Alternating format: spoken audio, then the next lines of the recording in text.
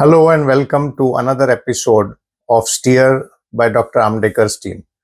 I am Dr. Tushar Maniar, pediatrician from Andheri, and today we will be talking about abnormal movements, discussing whether they could be physiological or pathological and how to approach the same. We all know that abnormal movements are frightening not only for the parents but also scary for the treating physician we must first and foremost look at the most critical abnormal movement, and that is the seizure disorder.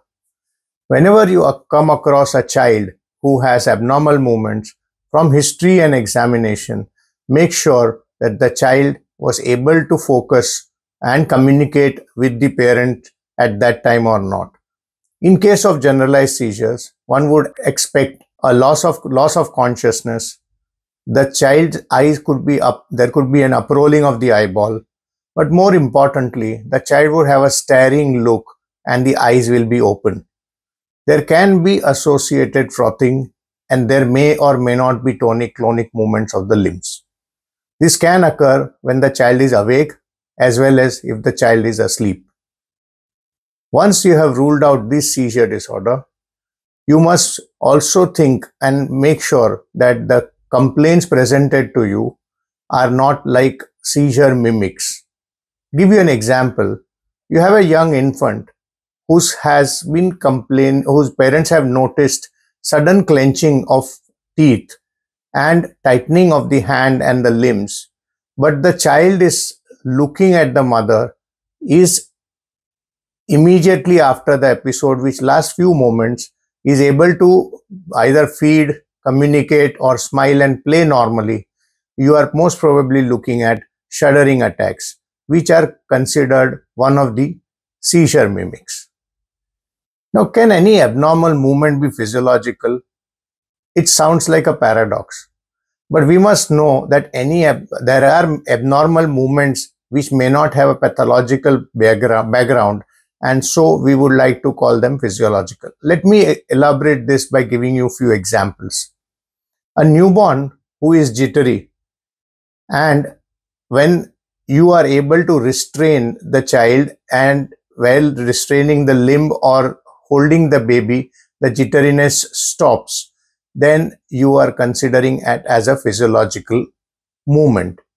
On the other hand if you have a child who is breathing fast and then his breathing is becoming slow and then again becoming fast these are rhythmic breathing movements in newborn and you would consider them normal or physiological unless if the child is having in between cessation of breathing or apnea, then that would not be anymore considered as physiological.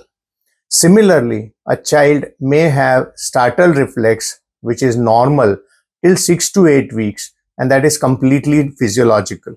But if it persists beyond 6 to 8 weeks, one should think about any other neurological condition or conditions like cerebral palsy or brain affection.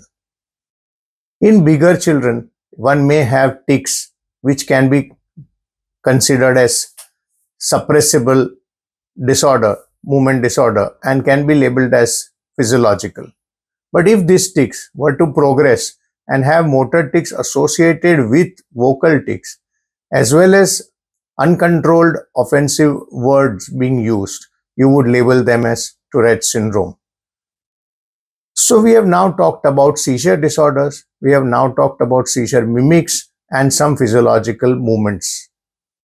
There are some non-epileptic paroxysmal events which look like seizures or which may look like a moment disorder. To give you some examples, child with a cyanotic spell or breath holding spasm can appear to have either a seizure or some kind of tonic movement movement and that has to be differentiated from each other. Similarly, a child with benign paroxysmal vertigo may come and cling the mother and then complain that everything is going round and round. Now we must be able to identify this as a migraine variant and not label this as an epilepsy. When we look at movement disorders, we try to classify them into bradykinetic movements and hyperkinetic movements.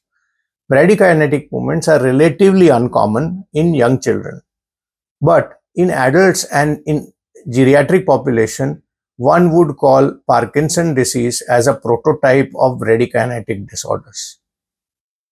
When you are looking at hyperkinetic disorders, conditions like uh, movements like tics, tremors, chorea, dystonia, hemiballismus, as well as stereotypies come to our mind. Now we must understand that these could be stand-alone disorder, like one could have uh, only tremors as a functional tremor or as a condition with only tics, or there could be a hemifacial dystonia and that would be without any other neurological or other medical condition. But many a times, a standalone movement disorder could be a harbinger of another for or of progressing that condition into a major brain affection. Again, to give you an example, a child who complains of bad handwriting or worsening handwriting and some loss of motor, fine motor skill may be the first sign or a red flag for a further dystonia and neurological conditions, including hepatic involvement, if the child is getting into a Wilson disease. Standalone movement disorders can sometimes help us localize the lesion. For example, a child with hemiballismus is likely to have a problem in globus pallidus. A child with dystonia could be having a problem from putamen or extrapyramidal tracts. And somebody with chorea could have a localization in caudate nucleus. But what happens is because these basal ganglia are very in, uh, significantly interconnected and anatomically close to each other, one may not always have only isolated single movement disorder and there could be more than one present at the same time. To give you an example, in a child with TB meningitis causing affection of internal capsule, subsequent peripheral edema can present with dystonia as well as hemiballismus. Now, let us look at individual movement disorders. We'll give you an overview because detailed discussion is not possible for want of time. Tics are classically defined as repetitive movements of a group of muscles or vocal tics, which can be suppressible. On the other hand, tremors are oscillating back and forth movements occurring along the axis of the joint. Dystonia, on the other hand, are co-contraction of agonist and antagonist and which result in either a particular posturing, twisting or sustained contraction of those muscles. Dystonias are usually precipitated by voluntary movement. Hemiballismus, on the other hand, are brief but shock-like um, uh, intermittent movements with wide flinging action. Chorea, as we all know, are quasi-purposive movements. That means the patient has this abnormal movement which he or she tries to mask by converting them into a normal movement.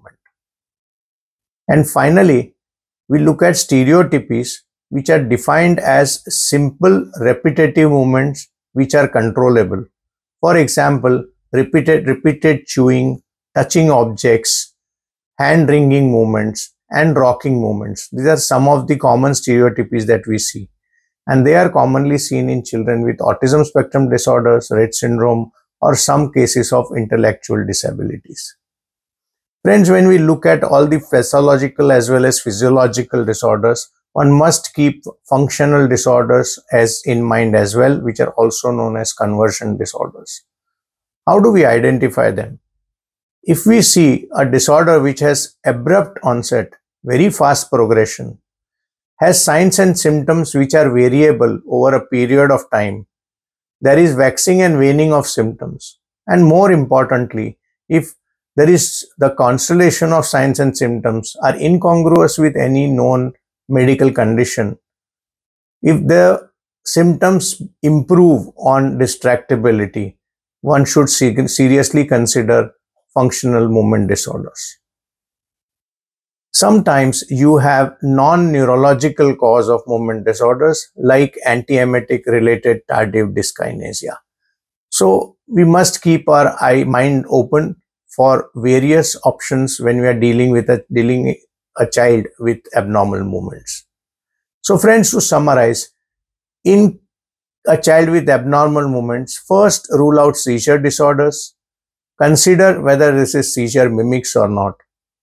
If you are thinking of physiological disorders, movement disorder, rule out red flags for the same. Consider paroxysmal non-epileptic movements before you label movement disorders.